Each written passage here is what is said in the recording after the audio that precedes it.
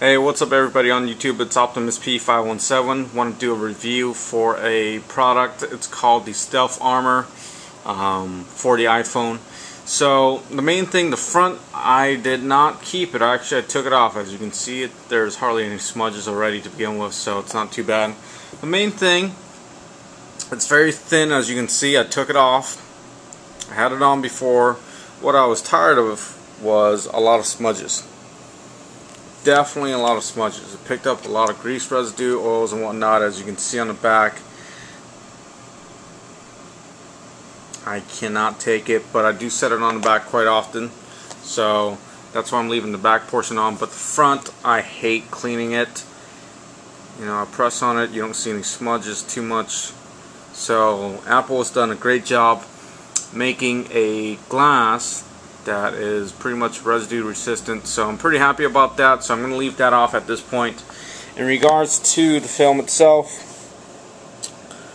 uh, it's a little harder to see hopefully you can but it does not protect the bezel piece or the antenna that, that well so there is parts exposed that's not covered.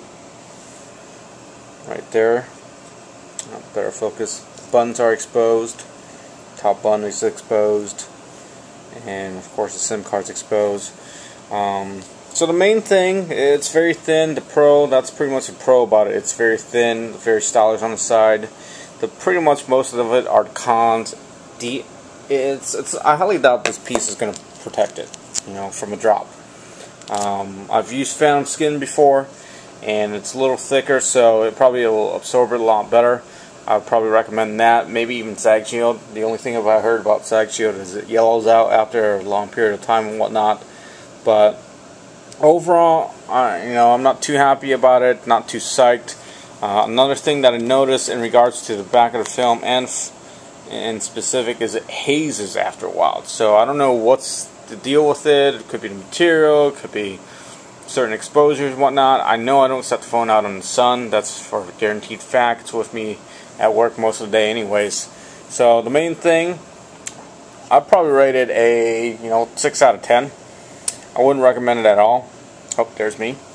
And on the side, I don't think it's going to be fully protected even if you drop it. So, uh, picked them up from Fusion of Ideas and fusionofideas.com. If you decide to pick it up, feel free. Like I said, it is very thin, as you can see and the back piece is actually on right now so but that's pretty much it. Just want to share that with you give you a little, little bit of input and insight in regards to the skin itself. Um, if you're looking for something I recommend some sort of a bumper.